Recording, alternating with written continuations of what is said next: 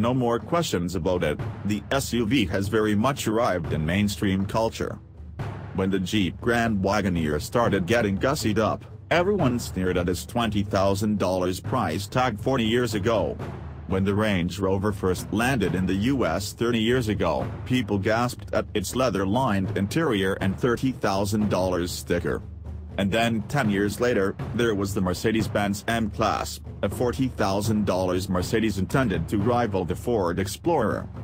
All of which brings us to the Jaguar F-Pace, the first SUV from a company that already has an entire division devoted to SUVs.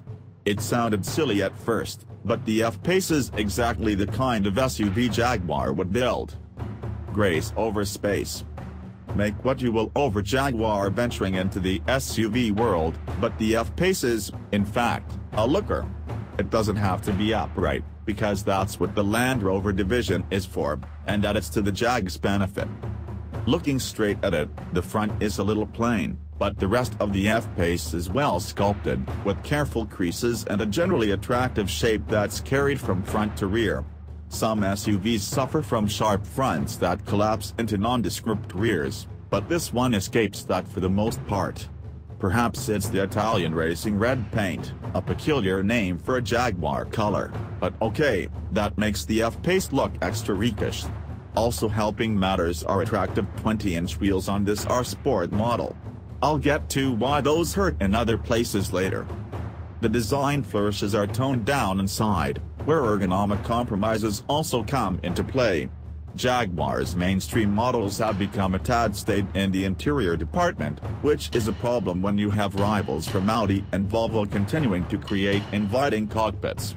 Going for the R-Sport package does add some color to what would normally be a dark place, although the vast glass roof covers both rows of seats and lets some of that January grey Detroit light in. That's a good thing because you don't sit especially high up in the F-Pace and the side windows are rather shallow for an SUV. It's a sporty driving position, for sure, but I found myself raising the seat higher than I would normally just to get a slightly commanding view of the road. The seating position isn't the only ergonomic work. Seat memory controls are where you'd expect the window switches to be, the start-stop button is where you'd expect the volume knob to be and the controls for the heated seats take a while to warm themselves up on a cold morning. At least Jaguar's new touchscreen is a vast organizational improvement over the previous iteration, even if it isn't the last word in sophistication. Thing is, if you're looking at this F-Pace to be the last word in practicality and technological achievements, you're missing the point. Bursts and bumps. The F-Pace 35 tons, a 2017 World Car of the Year finalist, with its 3.0-liter V6 with 340 supercharged horses gets up and going in a hurry. And this isn't even the top banana, a 380 horsepower version of the engine is the most powerful F-Pace at the moment. Even in its quietest setting, the F-Pace also growls as if there's a little bit of the F-Type sports car trying to escape to the SUV pragmatism. Put it in the most sporting setting and it suddenly makes everyone aware there's something angry driving by. That's all well and good if you're on a highway or a nice road, but it gets tiresome when you just want to go 25 miles per hour down your street. The F-Pace doesn't do town speeds, so you may become fast friends with your local traffic enforcer. Obviously, the 2.0-liter turbodiesel 4 is the way to go if you plan on driving your F-Pace mostly in town. Opting for a non-R Sport model also gets you smaller wheels, which might help the jarring ride. It didn't help that my experience was on Detroit's cracked pavement, but the F-Pace's ride never settled down and the big wheels clomp over every surface, to the point that my three passengers at one point had to note how stiff and choppy the whole experience was.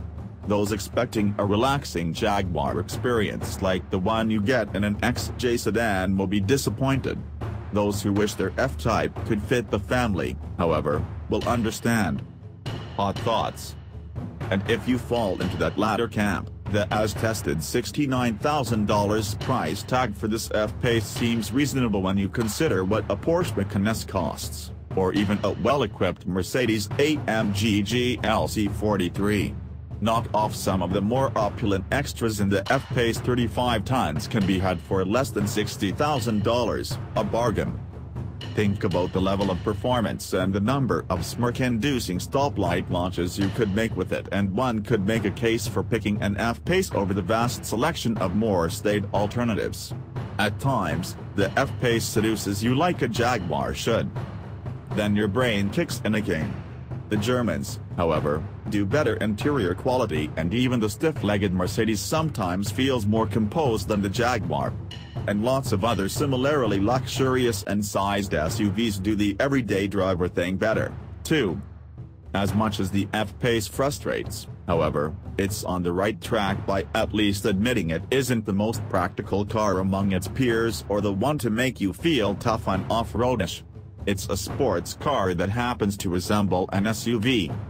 A little more refinement and it could make life for the luxury sports sedan even more difficult.